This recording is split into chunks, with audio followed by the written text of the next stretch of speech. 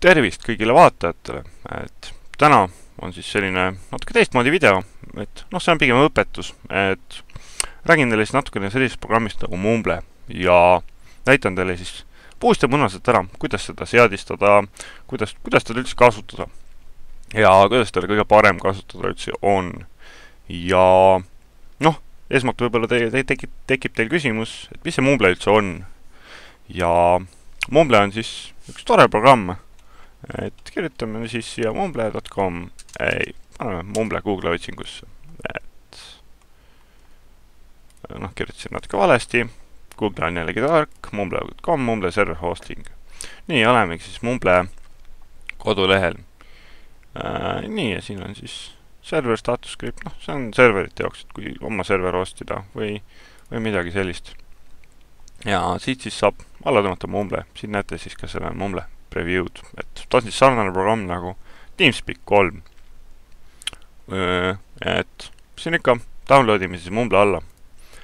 Ja nii, et save ime ta siis download'ide alla, save, nii, allalaadimised, noh, siin on siis mul eilsest striimist äh, juba Spindires alla laaditud, mida me siis eile, mida ma siis eile live streamisin, panen kindlasti ka Videogames Gaming Streami live streami kanali lingi, et kus siis meie striimi näeb ja samuti siis Videogamers Gaming Streami lingi, et, et noh, et Äh, Youtube'i siis nii palju videosid enam ei tule, et enamasti ma siis live stream in.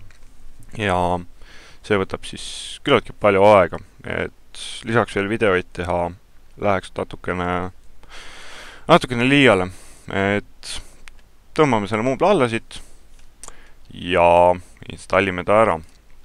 Et noh, nii, siin on siis free Mumble trial, download Mumble, Mumble support, Mumble futures. Ehk siis äh, noh, see ongi nende Mumble nii-öelda võimalused, et on siis high quality audio ehk siis kõrgkvaliteetne heli, et kui sõpradega räägite, nad kuulevad teid kvaliteetselt. noh, madal ping, siis on selline võimalus nagu positional audio, ehk siis kui näiteks mängite Counter-Strike üks punkt kuute ja sõber on teil näiteks T-tastis äh, mapi teises otsas, sina oled kuskil teises otsas, sa kuuled täpselt surroundiliselt, kus su sõber mängus asetseb. ja ja noh, seitse punkt üks kõrvaklappidest või seitse punkt üks kõlaritest annab see väga hea efekti, et nii kui sa siis hiirega FPS mängus ennast liigutad, siis äh, sõbra asukoht kõrvaklappides nii-öelda muutub. ja noh, tal on siis ka in-game overlay, millest siis ka natukene räägin ja äh, sertifikaadi baasiline autentifikatsioon ehk siis äh, igal kasutajal on oma sertifikaat ja ta saab sellega siis igas Mumble serveris ennast ära registreerida, et siis keegi tema äh, nime muuta ei saaks või tema nimega siis Mumblesse tulla ei saaks.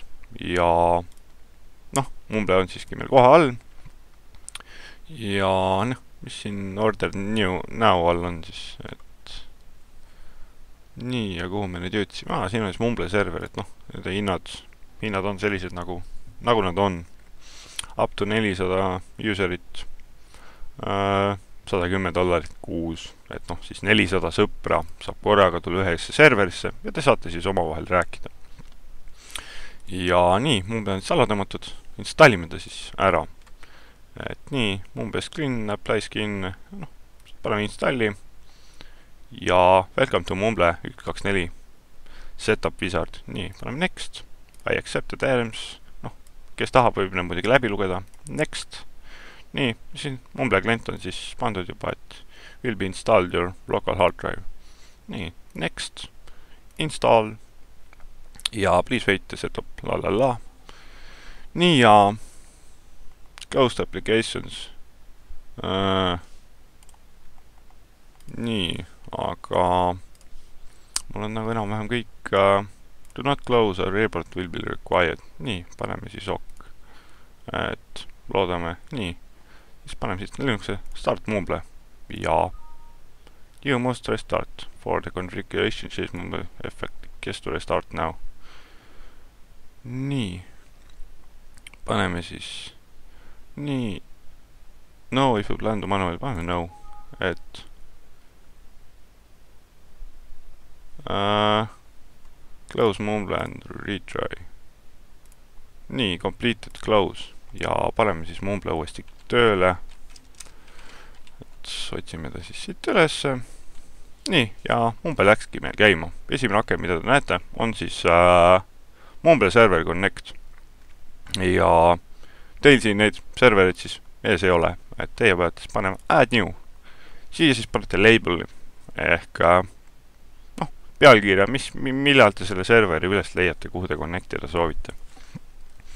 ja et mina olen siis pannud ajutine, et kirjutame siia näiteks äh, test.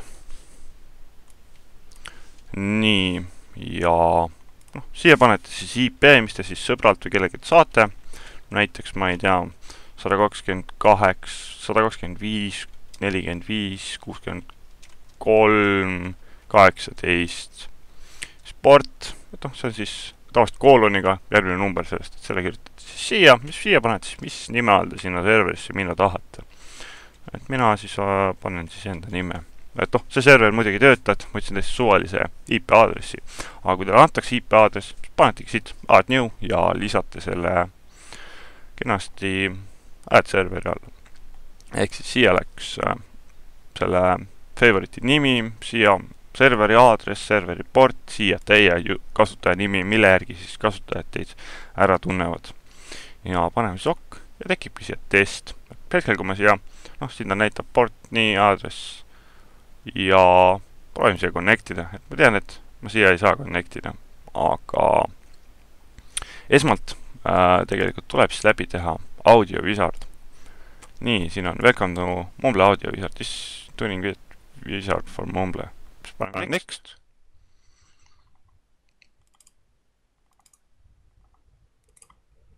ja äh, selecting the input audio täiestus Mumble, noh input, et äh, mis mikrofoni te kasutate. Ja nii, siit valite siis. Mikrofoni, mida te kasutada tahate, minul on siis Plantronics Gamecomi headset ja siia siis pi-, noh, kõlarid, et mis teie kõlarid on, võtate siit, mis teil default on, kui te ei tea, mis teil default on, siis võtke siit äh, uh, sounds, nii, playback, nii, speakers, Battletoads Gamecom ja recording alt siis näete ka, milline mikker teil töötab. ja need siis valitegi siia. ja saate siit panna ka siis enable positional audio ja attended applications while other users talk, et ja paneme next. This is an example of Speaks, an audio compression codec specifically tuned for the reproduction of human speech. This is an example of Speaks, an audio compression codec specifically tuned for the reproduction of human speech. This is an example of Speak. ja siin on siis volume tuning, et softly dark as you will when talking late at night and you don't want to disturb anyone. ja kui see roheline paar siia tekib, siis teie mikrofon on õigesti seadistatud. et kui ma natuke kõvemat häält teen, siis läks see hetkel siin korra punase peale. paneme next jällegi. nii, ja nüüd jõuame siis äh, kõige noh, tähtsama asja juurde et äh, push to talk, et mina soovitan kindlasti push to talk'i kasutada. Et kui te tahate kellelegi midagi öelda, hoiate mingit nuppu all, et minul on näiteks insert klahv pandud siis äh, hiire nupu alla. et hiireseadetes siis customize in, et siin, et kui ma seda hiire nuppu vajutan, siis äh, Windows arvab, et see kasutab insert'i. et press shortcut, noh siis vajutage mis nuppu, näiteks Alt või Ctrl või Shift või, mina kasutan insert'i, et vajutate lihtsalt insert. nii ja uh, adjust the following side if first you say you should end up in the green area ja mina siis lõpetan green'is areas tavaliselt, et minu jaoks on ta siis õieti seadistatud, aga see siis muudab seda green areat, aga see on siis mõeldud si-, ilmselt voice activi-, activation'i korral. paneme jällegi next. nii, soovitan siit balanced panna keep uh, custom text to speech settings aa ah,, ja ma soovitan siit panna siis äh, disable text to speech äh, and use sound instead. aga las ta olla keep to, keep custom text to speech settings. This is an example of Speaks, an audio compression codec specifically tuned for the. This is an example of Nii, ja see on Speaks, siis an audio äh, compression codec specifically tuned nii-öelda for the positional audio example nii, ja finished, enjoy using Mumble, congratulations, noh, et ühesõnaga Mumble on meie jaoks õi- õigesti seadistatud. ja noh, lähme siit setting ite alla, settings ite alla. ja minul on siis siit kõik eelnevalt paika pandud, aga kui te esmalt siis Mumble avate, on tal siis noh, settingud näevad välja sellised. mina soovitan siis äh, võtta, klikkida siia advanced'i alla, et siis tuleb siia rohkem võimalusi. Ja alustame siis audio input'ist, noh siin on jällegi, et millised, millist kõrvaklappe sa kasutad või mikrofoni, või tähendab jah, mikrofoni, et milles siis teised sind kuulevad. see valida siis default siitsamast, noh, kolm Plantronics Gamecom, noh siin on see täitsa olemas, Echo, las olla disabled ja push to talk, et valige siit push to talk, et võimalus on valida ka siis voice activity, et noh, ta peab olema siis nii seadistatud, et äh, ta ei oleks selle rohelise ja kollase peal, kui, kui ma ei räägi. ja hetkel ta siis minul ka nii on, et siit saab siis äh, silence below'i, et kui ma näiteks tõstan selle niimoodi, siis keegi mind ei kuule, et rohelise barri peal alles läheb siis äh,, noh nüüd läks korra, et äh, push to talk'i kasutage palun. Ja ülejäänud siit, las jääb kõik default'i. ja nüüd jõuame siis audio output'ile, ehk siis kust audio välja tuleb? Et mina soovitan siit võtta, noh, jällegi vaatate siit äh, playback, speakers, jällegi Plantronics Gamecom, siis noh, mul on USB headset, võtta siit. Speakers, Plantronics Gamecom seitsesada kaheksakümmend. noh, teil on siin muidugi Realtek HD audio mm, speakers või midagi sellist, et noh, default jitter buffer kümme millisekundit, volum tirige see kahesaja protsendi peale ja output delay las jääb viiskümmend millisekundit.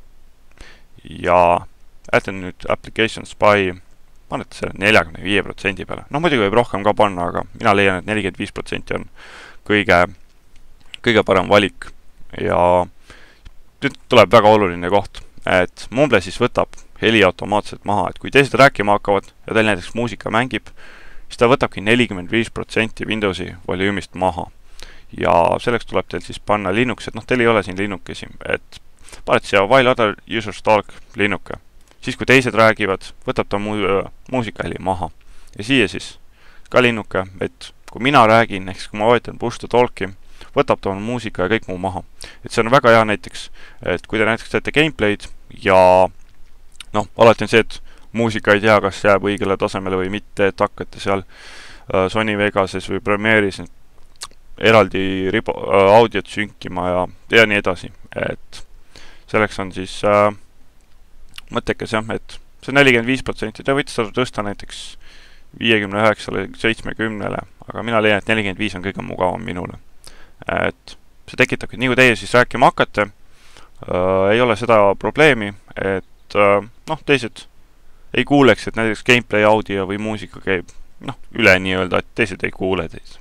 ja järgmiseks on siis audio, noh, lähme audio input'i korra tagasi, et äh, kui gameplay'd teha, siis on kõige mugavam confi-, confida endale voice activity. Ja noh, confime ta siis praegu õieti ära.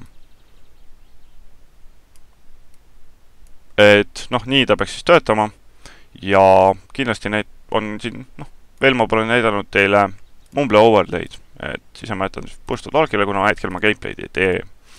Ja noh, shortcut'id, et noh, push to talk, noh, te saate siit ise lisada, et unassigned, noh siit valite push to talk, siis shortcut, klikite insert'i või mis iganes nuppu, no insert'i te klaviatuuri pealt vajutada, ma arvan, ei taha.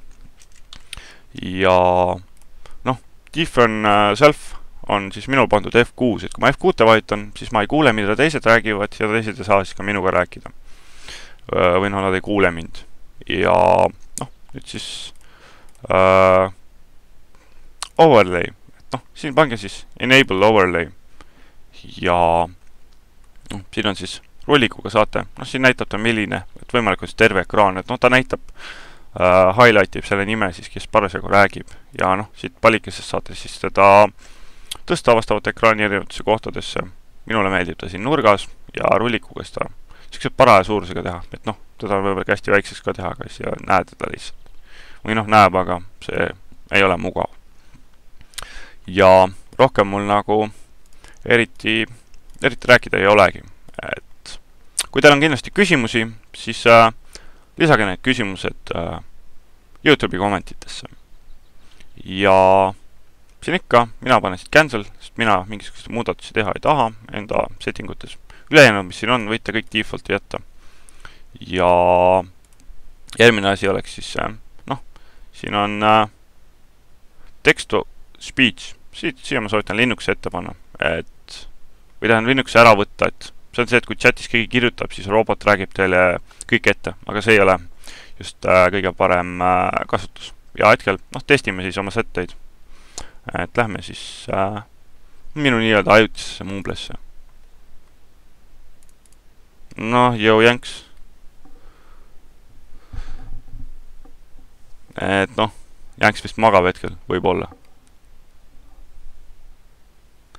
Aga no never mind, et kui see punane tuluke siin või noh, punane lõus siin põleb, siis teised peaksid teid kuulma, kui teil on, on, on asjad või õigesti seadistatud. ja noh, kui teil on, kui teil on jällegi küsimusi selle programmi kohta, et miski ei hakka tööle, siis äh, tehke sellest äh, ei ole. oi, mida ime noh, kuule ma frapsin seda Mumble tutorial'i praegu siin. Et sai, sai vist kõik ära räägitud, see overlay ja, ja kõik muu ja see overlay ei pruugi Battlefield kolmega töötada uue versiooniga. et äh, Jänks, sul ka vist ei tööta Battlefield kolmega või? uue versiooniga? kuule, ei ole märganud küll, et oleks näidanud midagi äh,. mina installisin vana versiooni, siis installisin neid sada korda maha ja siis hakkas see toimima. Ka uue versiooniga, et ma ei tea, mis ime sellega juhtus, aga noh, ma pean täpselt uurima, et äkki on võimalus mingid teatud failid üle kirjutada. aga okei okay,, ma lõpetan siis video, et aa ah,, ja siit saate siis ka noh, F6-te vajutada, siis mute ib äh, mikrofoni. et nüüd siia tulid siis ristid peale, et Jänks, kes siin Mumbles hetkel on, ei kuule mind ja saate siis ka ainult mikrofoni või siis äh, teiste heli ära blokkida. ja kui tahate channel'isse tulla, siis siin on jällegi nooled, vajutate ja näiteks kolime teise kanalisse, Attackeri alla. noh, siin ma võin praegu rääkida, sest Jänksi siin ei ole ja ta mind ei kuule. aga mis siin ikka, ma loodan, et see äh, tutorial leiab teil kasutust ja peatse jällenägemiseni kas live stream'is või Youtube'is